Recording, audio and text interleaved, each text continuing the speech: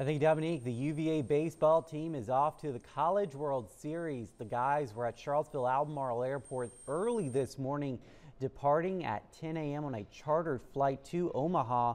This will be the sixth time Virginia has played in the College World Series, but it will be the first time for most of the players on this year's team.